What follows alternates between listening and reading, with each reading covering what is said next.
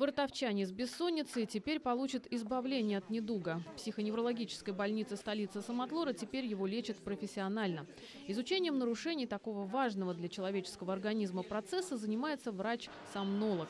Лечение пациента начинается с анализа крови.